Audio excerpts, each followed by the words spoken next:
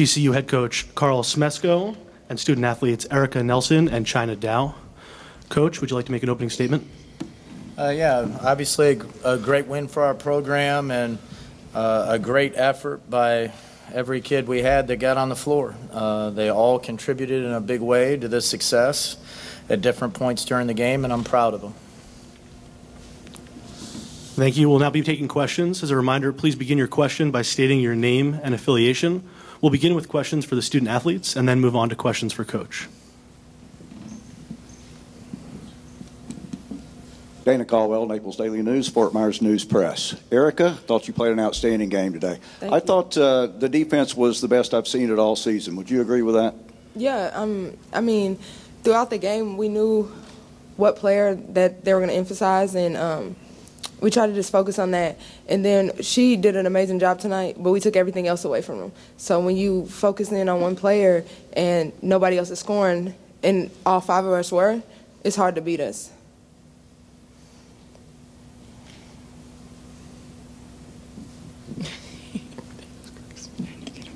China, every time uh, they, they tried to make a run at you, you were able to fend them off. Uh, you were able to uh, dominate, frankly, a team in the paint somewhat, uh, stay even with them on the boards. Uh, don't have a single six footer on your team, and they have quite a few. How were you able to do that today? Um, I think with their post players being in foul trouble, they really couldn't jump because it's risky. So if you're going in at first, they was blocking our shots because they wasn't in foul trouble. But once they did get in foul trouble, we was able to attack the basket and they, you know, softened up on defense. So it worked out for the best, and we was just finishing. And we knew they was gonna go on runs, but like we just tried our best to stick with it and stay in the game.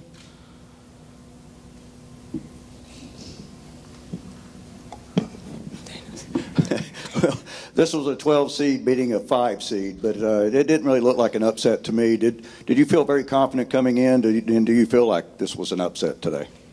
Uh, no, because at the end of the day, we do belong here, and you know, we're just putting our name on the map to let people know that we're not just a soft team, a mid-major team. We can compete with the best of the best. So it was a big win for us. Missouri's a good team, but we pulled out the win. Do Young Park, Naples Daily News. China, especially coming out of media timeouts and stuff like that, you're over out on the sideline riling up the fans. Uh, 4,000 miles away from Fort Myers, what did it mean to you to have this kind of support from the people coming out? It means a lot. Our fans is a big part of our program, and they get us going. So if you want to stay in the game, you keep our fans going. I don't care how many fans other people have. Our fans always make noise. So shout out to them for making you know making their way down in Cali, and we can just have fun and enjoy the California weather for a couple more days. Any more questions for the student athletes? Thank you so much. You two can head back to the locker room. We'll keep Coach here for a few more questions. So now, questions for Coach.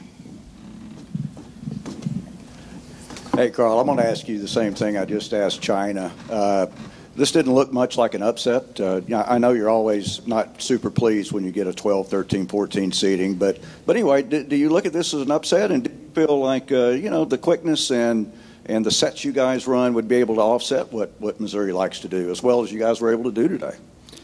Well, it's an upset in terms of seeding, and uh, but we definitely came in with the mindset that uh, this was a game we can win if we executed at a high level. And uh, a big thing that we emphasized was, you know, the the last four times we've been here, we've performed well. But at the beginning of each game, there was like a sense of a little bit of uh, nervousness or tension, and we never got off to good starts uh, because I thought there's a little doubt are we as good as the opponent? And so we made a real emphasis this time to let our team know hey, you belong here, you're just as good. It's going to be whoever plays better today. And it, this was the first time that from the jump ball, I thought we were all in and, and believed that we could get it done.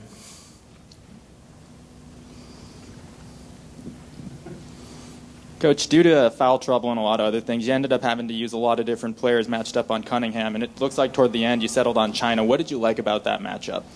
Well, that was actually Coach uh, Lyle's idea. Uh, you know, we uh, had Rose on her, and Rose was making her work.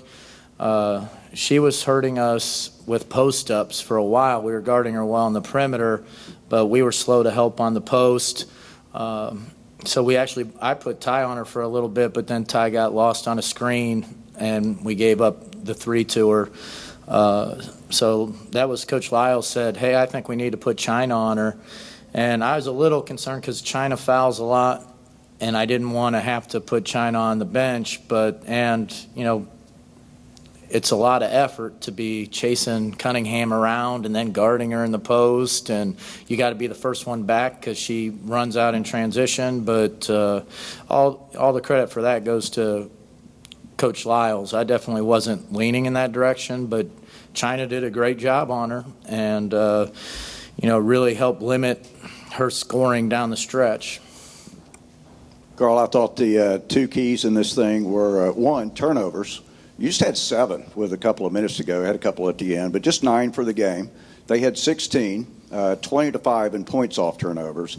And also, you guys were really able to hang on the boards today. I thought those two things were key. If you could expand on that just a little bit. Yeah, I mean that's that's always the biggest key is you have to find a way to try and win possessions, and the the possessions are how many offensive rebounds uh, and how many turnovers you have.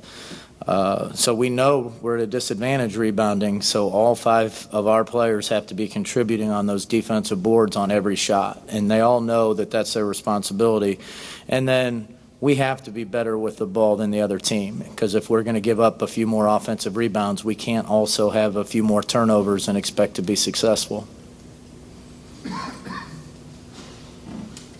Any more questions for Coach? Thank you so much, Coach. Well, thank you guys. Go Eagles.